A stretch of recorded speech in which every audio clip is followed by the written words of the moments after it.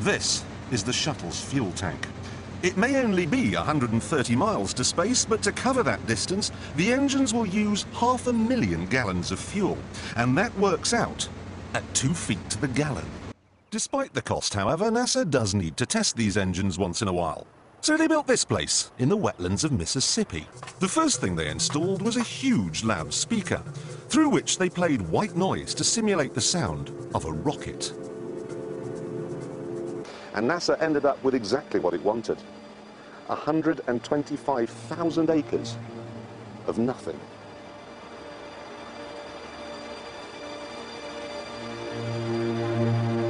They even had to move five cemeteries, because the noise they were planning on making would wake the dead.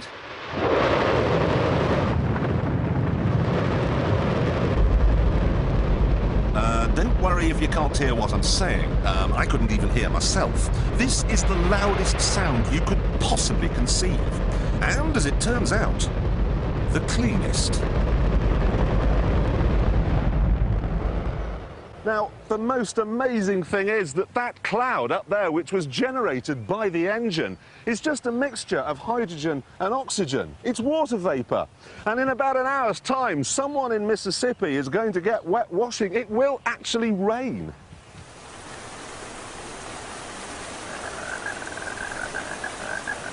I told you. It's raining.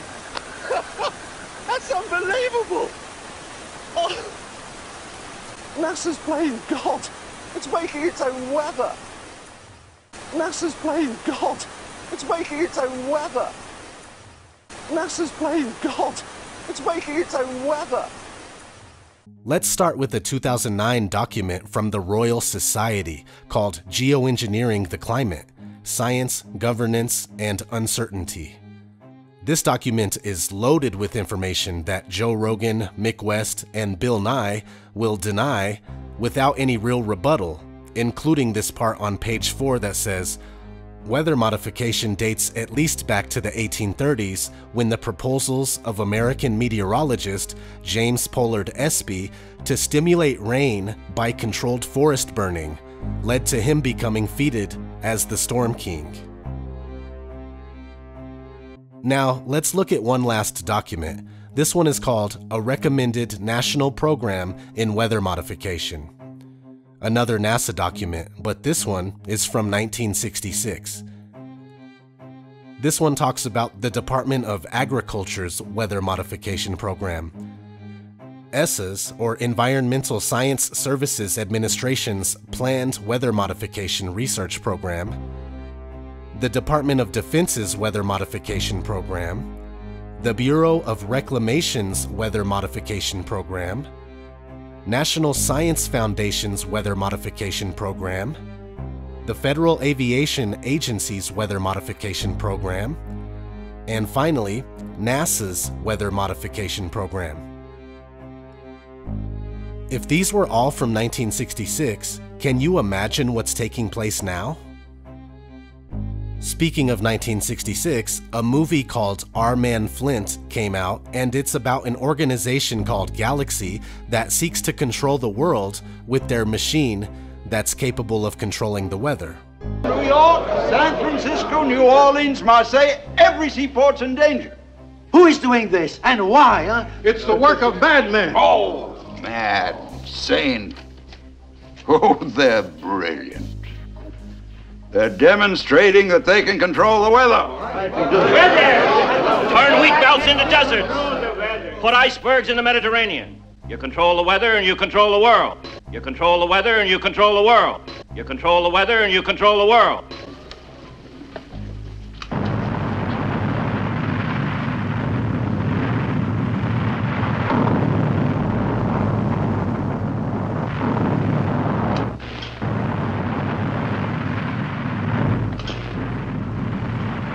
I don't know, sir. It's on all channels. Who are they? People of the world, there is no need to panic. Please do not be alarmed. We are your friends. Members of the Grand Council, you have just witnessed a live transmission, remote control from the Arctic region. Get a radio fix on this. Through the inducement of regulated tremors along the established fissures in the Earth's crust, we are now able to control local weather conditions throughout the world. For the more skeptical among you, we have prepared further proof. On the southern edge of Iwo Jima is the extinct volcano known as Burichabi. In the Chukotsky region, on the northeast tip of Russia, lies the dormant volcano known as Amgoyamska. In exactly 10 seconds, we will cause these ancient volcanoes to erupt with a Richter force of 4.9.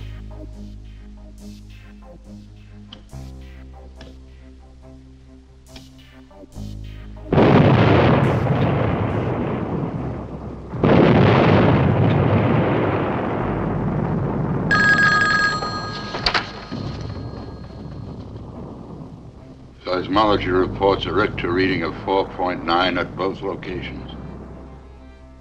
The Galaxy organization's logo looks a lot like the Freemason square and compass. Just saying. We shall propose further cooperative efforts between all the nations in weather prediction and eventually in weather control. In weather prediction and eventually in weather control. We shall propose finally a global systems of communication satellites linking the whole world in telegraph and telephone and radio and television. The day need not be far away when such a system will televise the proceedings of this body to every corner of the world for the benefit of peace.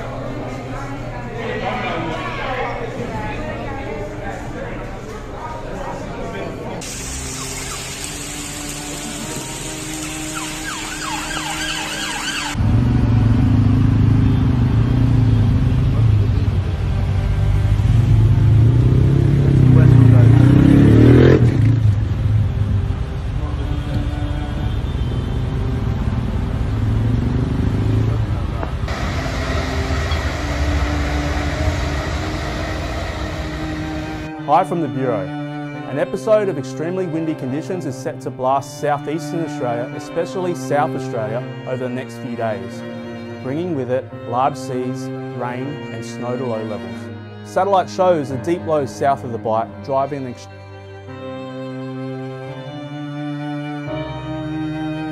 beaches and ferry services. Subways flooded in New York. Heavy rains even caused a mudslide, shutting down a rail line in Connecticut. I'm not an alarmist, uh, but I do know that uh, climate change is not an abstraction. Climate change, you're seeing it real. By the way, the hurricane season hasn't even begun yet.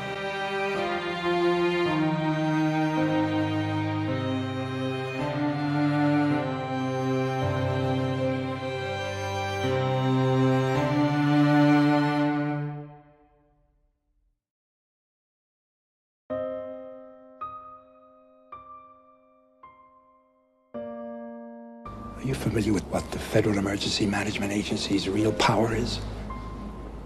FEMA allows the White House to suspend constitutional government upon declaration of a national emergency. Think about that. A silent weapon for a quiet war. The systematic release of an indiscriminate organism for which the men who will bring it on still have no cure. They've been working on this for 50 years. While the rest of the world have been fighting crooks and commies, these men have been secretly negotiating a planned Armageddon. Negotiating with whom? I think you know. The timetable has been set. It'll happen on a holiday when people are away from their homes. The president will declare a state of emergency, at which time all government, all federal agencies will come under the power of the Federal Emergency Management Agency, FEMA, the secret government. FEMA, the secret government. How about that? I don't doubt it. So, anyway, they claimed to have shut down HAARP, which is a facility that used ionospheric heaters to change the weather. I don't believe for a second that HAARP is shut down, but even if it is, there are many other facilities across the Earth that do the same thing.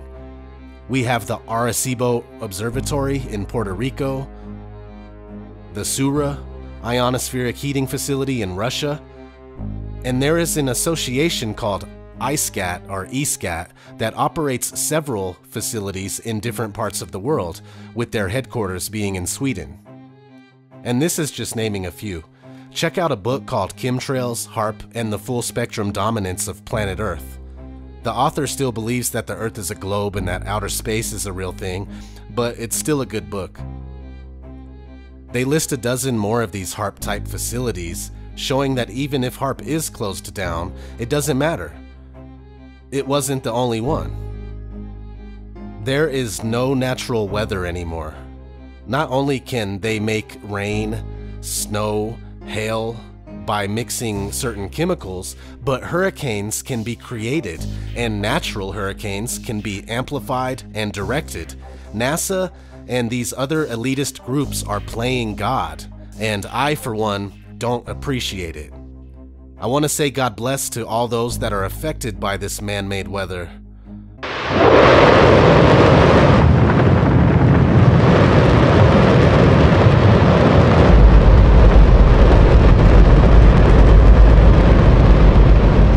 Don't worry if you can't hear what I'm saying. Um, I couldn't even hear myself.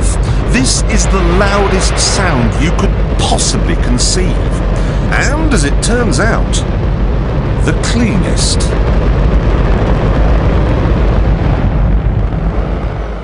Now, the most amazing thing is that that cloud up there, which was generated by the engine, is just a mixture of hydrogen and oxygen. It's water vapor. And in about an hour's time, someone in Mississippi is going to get wet washing. It will actually rain.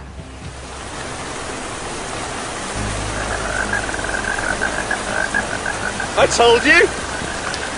It's raining! That's unbelievable! Oh. NASA's playing God. It's making its own weather.